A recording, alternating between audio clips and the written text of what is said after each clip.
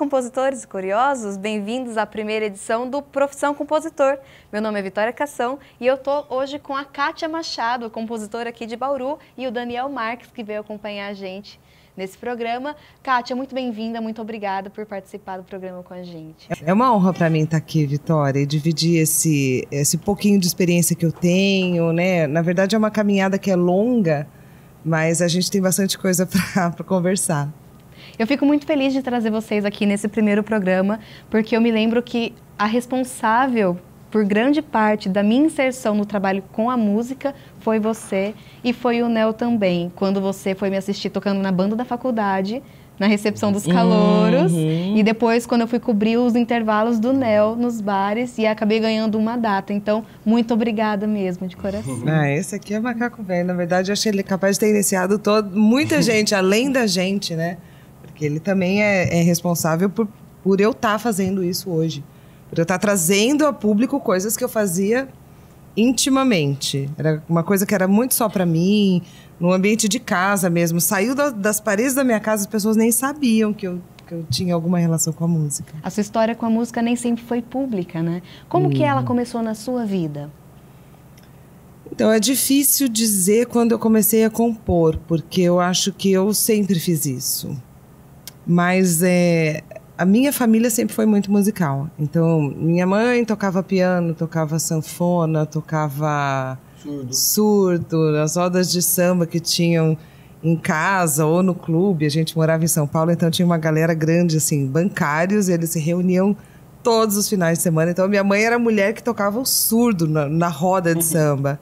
Era muito bacana. E meu pai canta assim divinamente. E para ajudar a cereja do bolo é o bom gosto musical deles, que eu sou, não sei se, nem dizer se é simplesmente influenciada, porque o negócio é mais, é, é mais arraigado ainda, né? Eu acho que eu, muito do que eu faço, eu não consigo fugir dessas referências. Então a música sempre esteve presente no seu ambiente familiar. Sempre. Legal. Quando sempre. você começou a compor, você chegou a mostrar para os seus pais como foi essa, esse contato não, deles? Eu não achava nem que era coisa de mostrar.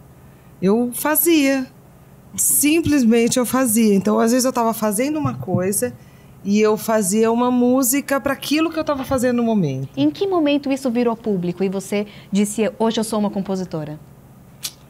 Eu tive um tempo para mim Teve um momento em que eu parei e tentei me achar. Eu acho que ter feito 40 anos foi importante na minha vida, uma pela questão assim de maturidade e de autoconhecimento. Então nesse momento eu falei, bom, eu tenho isso, eu já fiz isso, o que que eu gostaria de fazer daqui para frente? E aí você pega, tipo, liga, põe o pi, por favor, liga o foda-se e aí o negócio vai e você faz o que você quer. Você não faz porque é uma profissão, você não faz por causa de dinheiro, você faz só porque você sente que você nasceu para aquilo. E não é só música, né? Eu, eu sou uma apaixonada pela arte como um todo. É dança, artes plásticas, é literatura, desenho, desenho. Então tem, tem tudo isso, né? E hoje você cataloga suas composições? E tem mais de 70 composições? Olha, eu não sei dizer exatamente, eu não, não sei dizer quantas. Eu sei que é alguma coisa em torno disso, é alguma coisa em torno disso. Mas até um ano atrás, eu não sabia nem quantas eu tinha. Eu não tinha escrito, eu tinha de memória. Então eu tive que, para fazer o disco, eu tive que escrever. E aí contar. E aí as coisas começaram a vir. E aí eu fui lembrando de outras coisas, mas a grande maioria, na verdade, se perdeu, né? Então vamos encerrar esse primeiro bloco conhecendo uma das suas composições? Vamos. Esse aqui é o Daniel Marques, ele é meu muso inspirador. Então muitas das músicas que eu fiz foram para ele. E outra coisa, eu, eu tenho uma vertente muito feminina, uma, uma visão muito feminina do mundo. Então, o que que acontece? A gente ouve aquelas músicas dos caras nos botequins, falando as suas histórias. Eu falo, cadê a música da mulher que está sentada num botequim pensando sobre a sua vida, sobre seu amor, sobre qualquer outra questão? E aí saiu essa música. Da gente começou a namorar, né, amor? Estou aqui sentada nesse botequim, pensando no que será que sentirá por mim, buscando alguma maneira de lhe dizer aquilo que eu sinto por você, se nem eu mesma posso entender. Garçom, traz outro copo, este já tá vazio. Você quase chegando e eu tô por um fio. Confesso, dentro de mim existe algum pudor, um preconceito ou talvez temor do sentimento que se chama. Já sei, vou inventar um jeito de falar.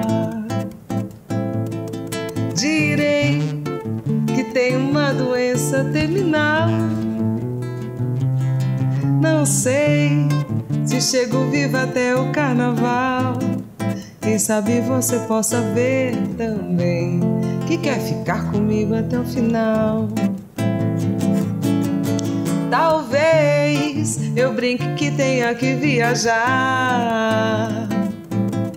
E até não sei se um dia eu irei voltar. Você me disse em mim não vai viver. Fica comigo onde quer que eu for, por causa do danado do eu digo que é tudo mentira, que era brincadeira. Você vai querer me matar, depois vê que é besteira. Me beijo, me disse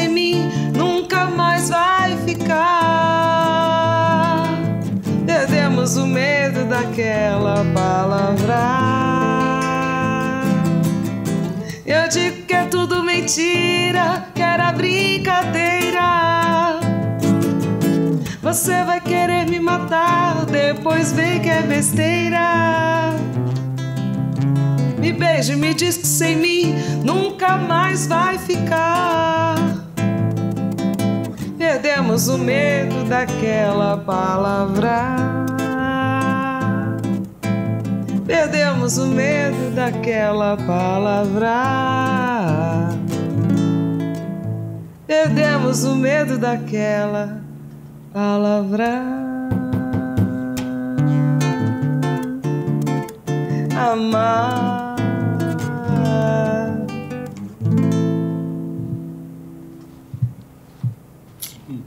Essa foi a Kátia Machado e o Daniel Marques. A gente volta no próximo bloco com as histórias das composições. Até já!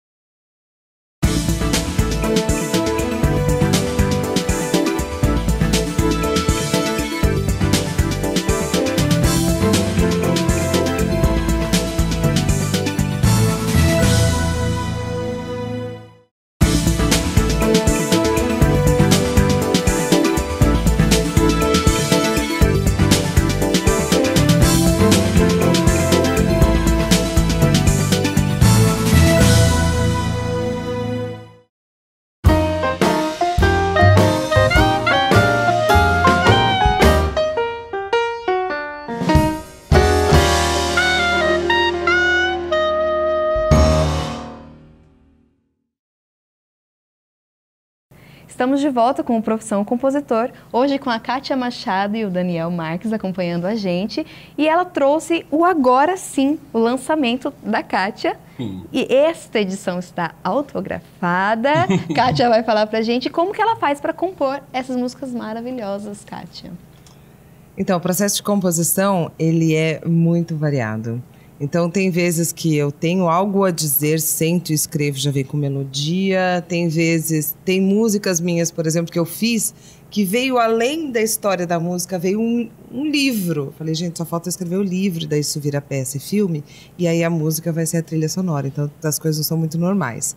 Tem música que as crianças vêm cantando da escola e eu falo, nossa, pode ter um tan e aí a gente canta a música da escolinha deles. Tem uma música no disco que é isso. É uma música que era da escolinha e que eu falei, pô, essa música merece uma letra bacana e virou música do disco mesmo. Tem coisas que eu escrevo a letra, ele faz a melodia, tem coisas que ele escreve, eu dou meu espetáculo. Então, quer dizer, não... a gente fez uma música essa semana passada que a gente tem um grupo de compositores, cada um escreveu uma estrofe e a gente jogou junto. E saiu a música linda. Então, assim, não tem. Eu não tenho uma caixa. Eu acho que, como não tenho uma caixa para a forma como eu componho, não tenho uma caixa para o meu estilo, não tenho uma caixa aqui para minha arte. Então é uma coisa que é muito livre, porque eu não espero corresponder nem me adaptar ao que esperam de mim. Então a coisa é flui. Essa próxima música que você vai cantar pra gente, por exemplo. Como que foi? Você estava cozinhando, você estava no banho, o que aconteceu? Quem sabe? Esse foi uma que eu escrevi a letra e falei assim, ó, Tó, se vira. Não, ele falou assim, tema, pá, esse. Aí eu falei, daqui. Quatro minutos. Um, dois, três e...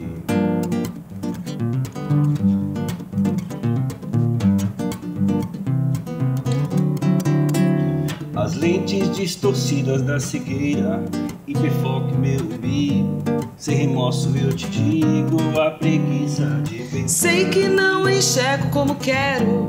Sei meus olhos estão fechados. Sei que basta abrir os olhos Mas não sei o que verei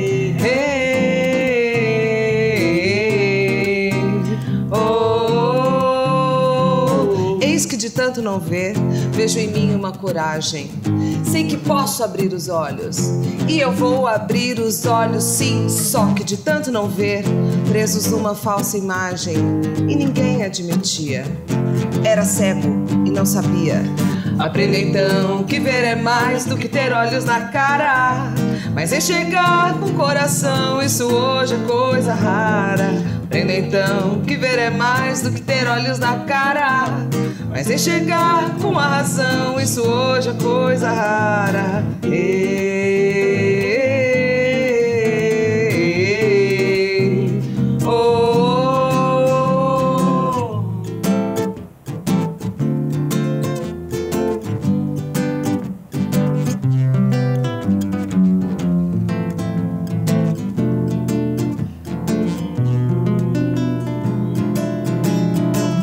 Aprendo então que ver é mais que ter olhos na cara, mas enxergar com coração, isso hoje é coisa rara.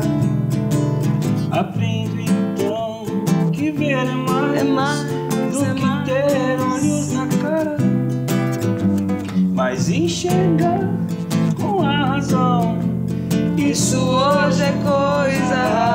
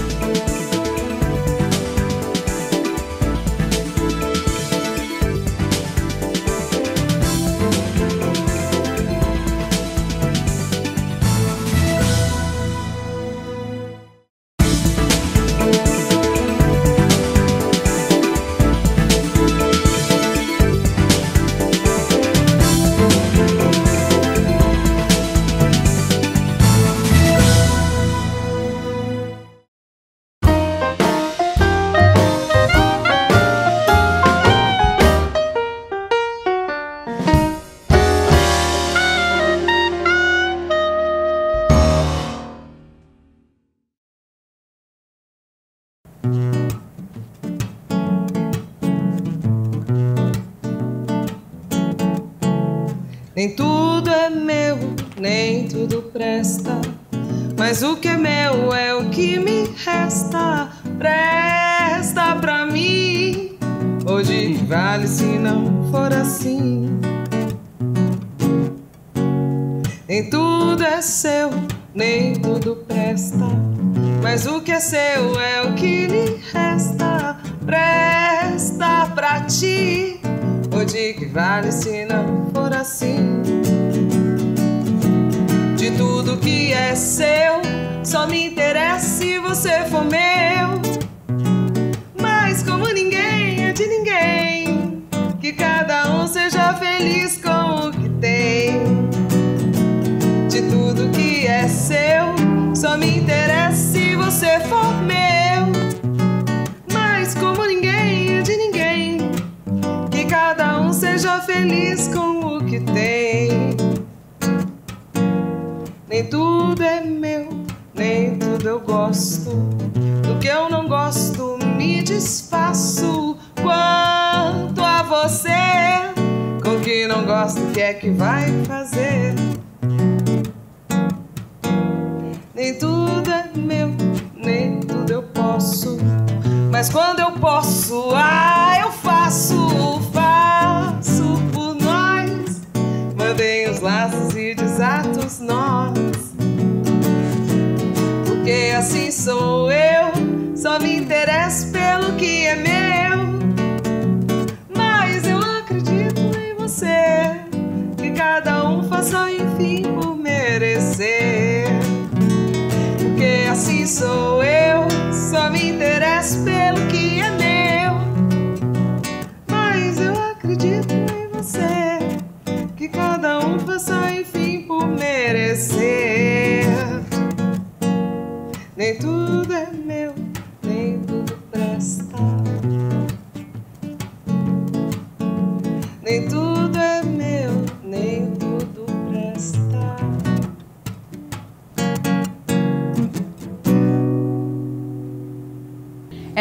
César, da Kátia Machado, com o Nel Marques.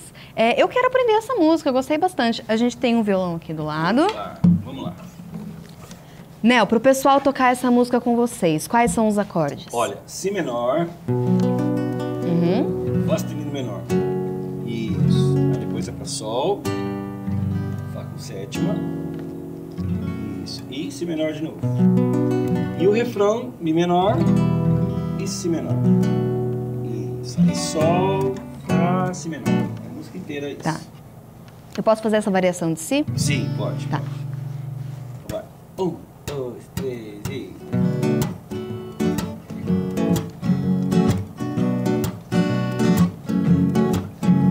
Nem tudo é meu, nem tudo presta. Mas o que é meu é o que me resta. Presta pra ti.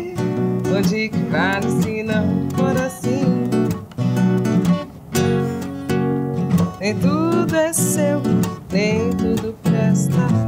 Mas o que é seu é o que lhe resta. Presta pra ti.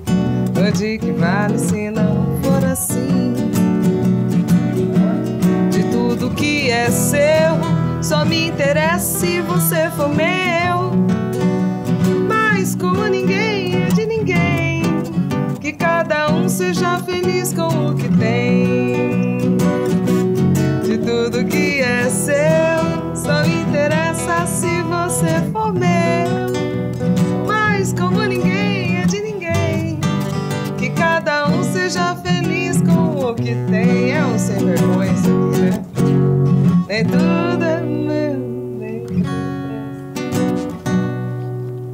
Ah, sensacional, gostei. Parabéns, você pegou a música inteira já. Obrigada. Ela repete duas vezes o mesmo. E quais são os trabalhos de vocês agora?